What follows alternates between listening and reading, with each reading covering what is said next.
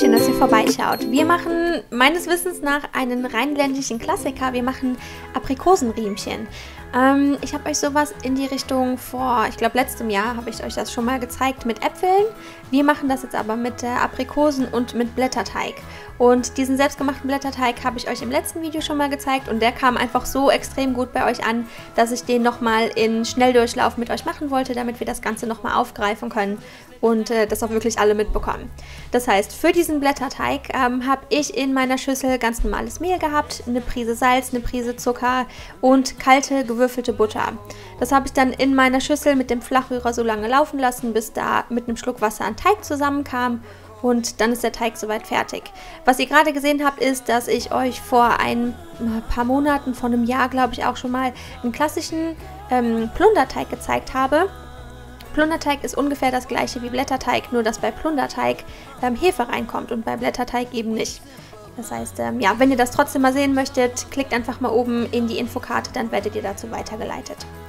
Ich habe meinen Teig hier auf jeden Fall in Folie gepackt, flach gedrückt und das Ganze für mindestens zwei bis drei Stunden kalt gestellt. Und das war dann hier zu dem Zeitpunkt halt zwei, drei Stündchen später. Mein Teig ist deutlich fester geworden.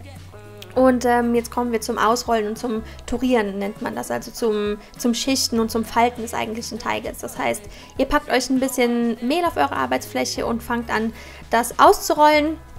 Am besten so ein bisschen rechteckig, das heißt äh, eine Seite kürzer und die andere halt ein bisschen länger, damit wir das jetzt falten können wie ein Brief. Bevor wir das wie so eine Art, ja, ich würde sagen halt wie so ein Brief falten, solltet ihr darauf achten, dass ihr das Mehl zwischen den Lagen immer ähm, so auf Seite pinselt, weg, abstaubt, so nennen wir es mal so. Und äh, dann faltet ihr das zwei, dreimal wie so ein Brief, rollt das immer wieder aus und diese Seite mit den Nähten, die zeigt dann am besten immer zu euch. Genau.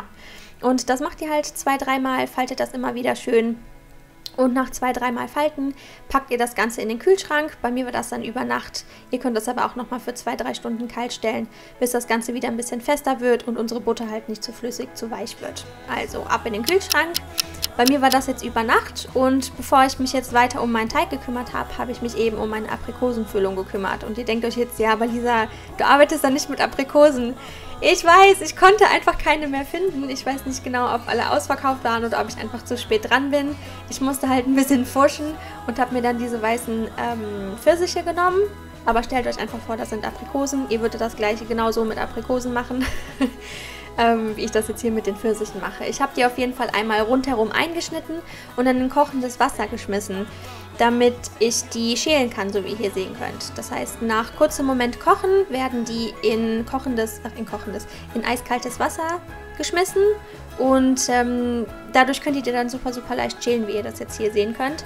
Das habe ich bei alle meinen Pfirsichen gemacht, bis die halt wirklich einmal komplett geschält sind. Habe die dann vom Steinchen genommen und in so grobe Stücke geschnitten. Da müsst ihr nicht zu genau sein. Das wird jetzt gleich nämlich eh nochmal so ein bisschen kaputt gekocht ähm, in so einer Art Püree. Deswegen das Schneiden in Stücke ist nicht, äh, das muss nicht genau sein. Ihr ähm, schält halt dementsprechend euer Obst, dass da nichts mehr dran ist. Oder wenn es euch nicht stört, könntet ihr das auch ganz lassen und schmeißt das in den Topf in Würfeln oder in Stücken. Gebt da eventuell noch ein bisschen Zucker zu. Kommt drauf an, wie süß euer Obst ist. Bei mir waren die nicht so ultra süß, deswegen habe ich da ein bisschen nachgeholfen. Und kocht das jetzt in meinem Topf bei mittlerer Hitze ungefähr für ein paar Minuten auf. In der Zeit, wo das aufkocht, habe ich mir auch schon, weiß ich nicht, so zwei, drei Esslöffel Speisestärke genommen und die mit einem Schluck Wasser verrührt, dass wir halt so ein Stärkewasser haben, wo wir nachher unseren Kompott mit abbinden können. Bis wir dazu kommen, müssen die äh, Pfirsiche oder Aprikosen, die müssen auf jeden Fall erstmal ein bisschen kaputt kochen. Da müsst ihr einfach mal schauen, was euer Kompott braucht, wie trocken euer Obst ist, wie, wie ähm, stark das einfach kaputt kocht. Ich musste dann mit ein bisschen Wasser nachhelfen und der Videozwecke wegen habe ich ähm, meinen Kompott hier noch ganz leicht Aprikofarben eingefärbt mit ähm, ja, die Farbe hieß Aprikot, die war von Tortis und habe dann da der Farbe ein bisschen nachgeholfen. Das waren immerhin, ähm, wie sagt man, weißfleischige äh, Pfirsiche und ähm, ja, für den Eindruck, dass man halt denkt, dass es Aprikosen sind, musste ich ein bisschen fuschen. Gut, ähm, Mein Kompott ist soweit relativ stark runtergekocht. Ich war dann zufrieden und habe dann mein Stärkewasser dazugegeben, das Ganze feste verrührt und ähm, diese Mischung mit der Stärke dann einmal ganz stark aufgekocht, damit die Stärke das alles abbinden kann und das dann auf Seite gestellt, dass es ein bisschen abkühlen kann. Und während das jetzt abkühlt, können wir uns um die eigentliche Form kümmern. Dafür habe ich mir meinen Blätterteig GC wieder geschnappt und roll den jetzt erstmal wieder mit ein bisschen Mehl aus. Am Anfang ist er immer ein bisschen fest, natürlich wegen der Butter. Also da müsst ihr ein bisschen, einfach ein bisschen Mühe, ein bisschen Schmackes dran gehen, dann geht das aber relativ gut. Ähm, ich wollte euch in diesem Video noch einmal zeigen, wie man noch anders turieren kann, wie man noch anders falten kann. Das heißt, ich habe euch eben in der ersten Runde gezeigt, wie man einen Nahtbrief faltet. Das ist eine einfache Tour und eine doppelte Tour da faltet ihr im Endeffekt doppelt und das ist gar nicht so schwierig, aber ähm, braucht vielleicht doch ein bisschen Übung. Das heißt, was ihr macht, ist unten zuerst eine ganz kleine Falte so einlegen und dann oben, boah, es ist so doof zu erklären, halt ein wirklich großes Stück. Ihr müsst aber immer gucken, dass ihr noch genug Platz habt, um dann ja, diese Seite nochmal oben drauf zu legen, sodass ihr halt echt so eine doppelte Faltung habt. Ist doof zu erklären, ähm, falls ihr das nicht so richtig verstanden habt, vielleicht guckt ihr euch diesen Part einfach noch mehrmals an, aber es ist ein bisschen doof zu erklären und braucht ein bisschen Übung, dann versteht man das aber auch relativ leicht und schnell.